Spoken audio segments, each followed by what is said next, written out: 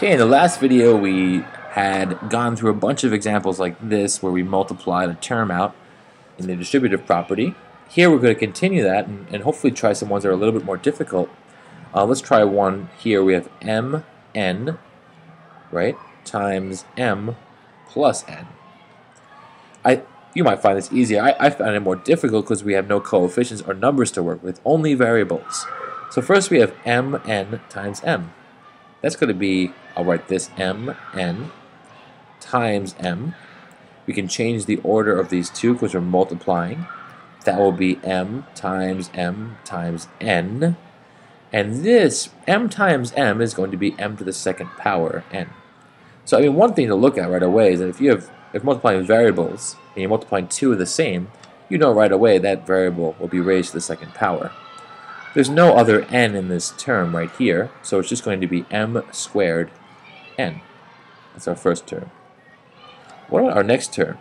Well, now we have mn, right, times n. And almost, you know, this time it's almost the reverse. We have multiplying two n's, so it's m to this times n to the second power. That's a, that's a tongue twister for me. And we're adding this, right? And don't, I mean, you might think you can go further here, and I, I understand because you see m's and n's, but notice the m's and n's are to different powers or different exponents, so we can't really combine. All right, well, let's let's try some others. A couple more here. In the next example, we're starting with negative ab times a minus b. Similar, but the last one, except of course now we have a negative term. What do we do? Well, negative ab times a. That's our first combination. What's that? Negative ab times a. Well, again, we can reverse the order here and think of this as negative a times a times b. What's this right here? Well, I would, I would, this negative term, I would think of as negative 1 times a times a times b.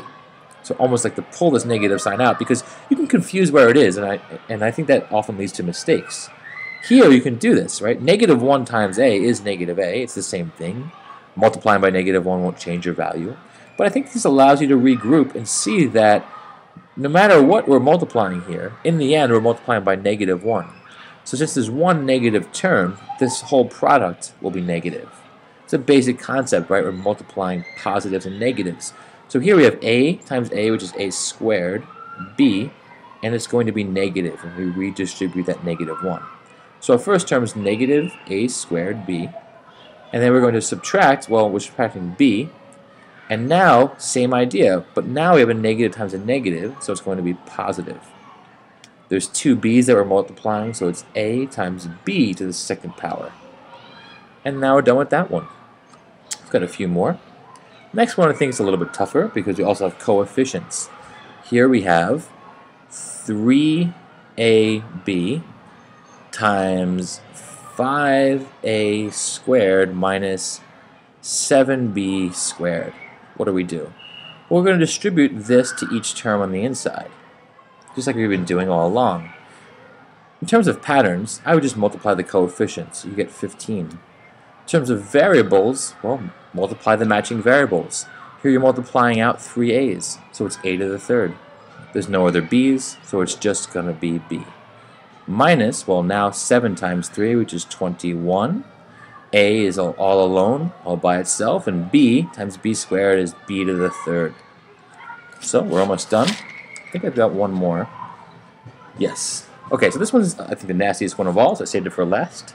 Negative A cubed B cubed times negative 2 A to the fourth B minus 3 B to the fourth.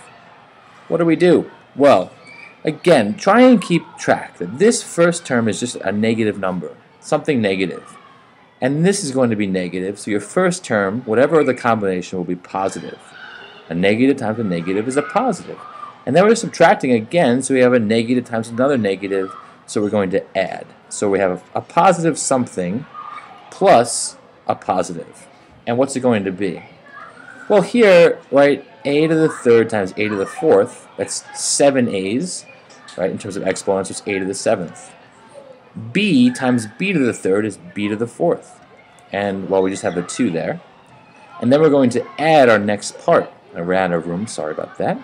And we have 3, well, b to the fourth.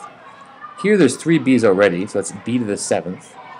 But a to the third is still going to be there. So anyway, that's how we'd solve this one. I hope you're getting a sense or an intuition of what's happening.